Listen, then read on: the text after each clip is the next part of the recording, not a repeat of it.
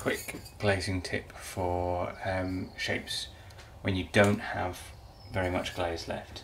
So I'm literally finishing off the last little bit of Spectacular um, and I want to glaze a couple of tumblers.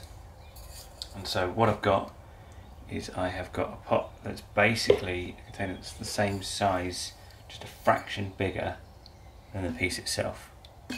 So what you'll see is that um, because it's nearly the same size, it displaces the majority of the glaze in that bottom section.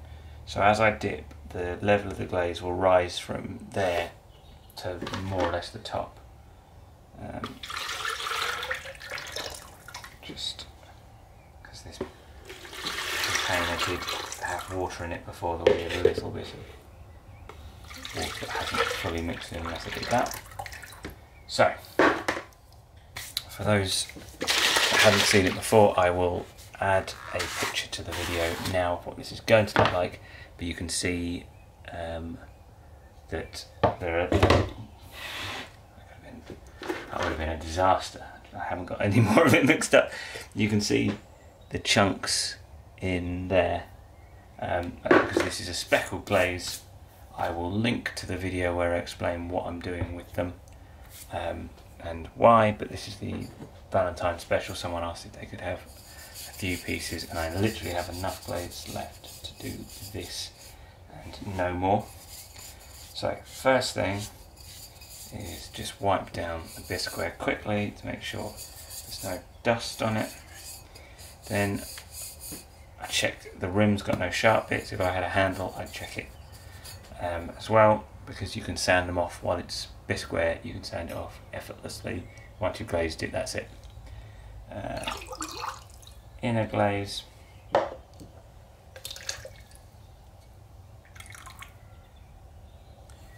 And then car dent puller is vital for things like this because obviously the whole point is that it's filling the container so you couldn't get tongs and you couldn't get your fingertips and you just dunk down and as you dunk the level of the glaze rises up.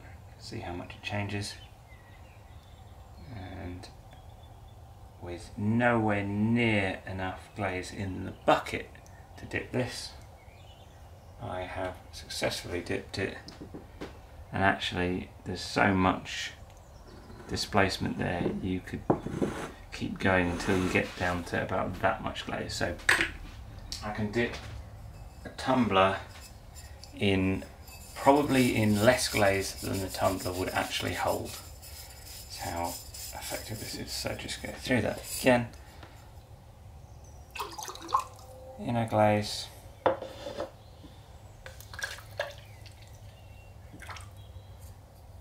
And I roll it around so the overlap as I put it in I roll it just to make sure it lands the inside and as I push down the glaze comes up to meet it for the car dent puller you need to wax resist the base I've got a full video on them I will link um, that in the description as well. There are a few tricks to making it work. Um, I know some people don't have as much joy with them as I do, but uh, the simple fact is if it sticks to anything, it should stick to your pots.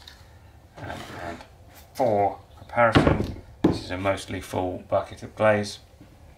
One of the things that helps is making sure the surface is slightly wet so it can seal around the edge but this is about five kilos of glaze and it can pick it up and if it can do that it can hold a pot. So what you want to do check that yours works is try sticking it against something like glass. If it sticks to glass then it's just a process problem that's stopping it working on your pots.